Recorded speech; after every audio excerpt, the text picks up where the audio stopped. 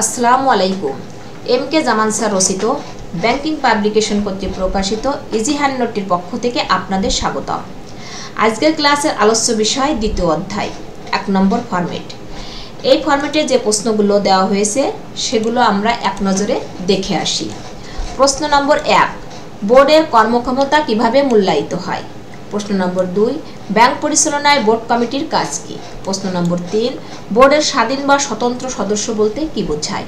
প্রশ্ন নম্বর চার, বোর্ডের কর্মক্ষমতা পরিমাপের জন্য বাংলাদেশ ব্যাংকের নির্দেশিকা কি কি? প্রশ্ন নম্বর পাঁচ, বিলুপ্ত বোর্ড কি?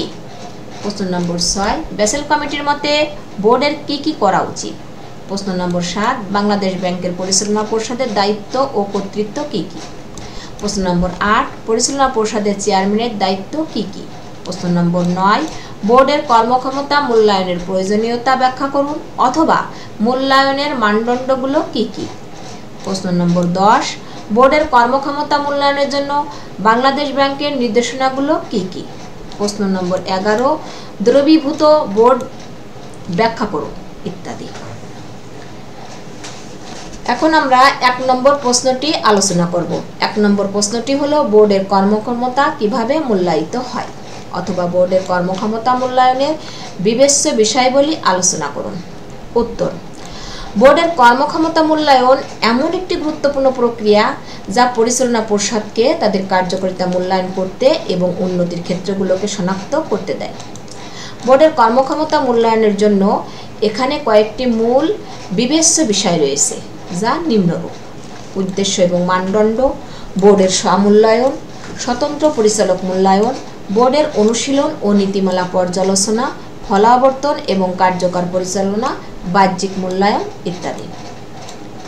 এখন বিষয়গুলো বিশ্লেষণ করছি।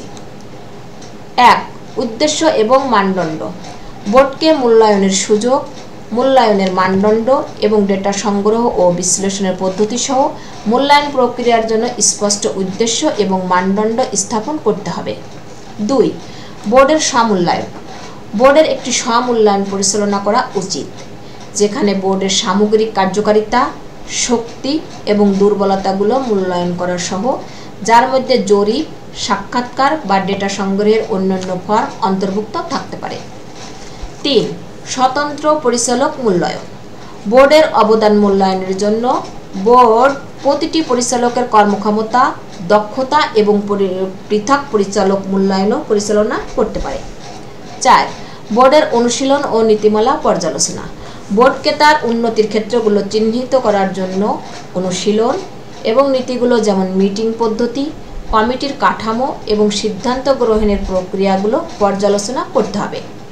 পাঁচ ফলাবর্তন এবং কার্যকর পরিকল্পনা। বোর্ডকে স্বতন্ত্র পরিচালক এবং সামগ্রিকভাবে প্রতিক্রিয়া প্রদান করতে হবে। এবং উন্নতির জন্য যে কোনো চিহ্নিত ক্ষেত্র সমাধানের জন্য একটি কার্যকর পরিকল্পনা তৈরি করতে হবে।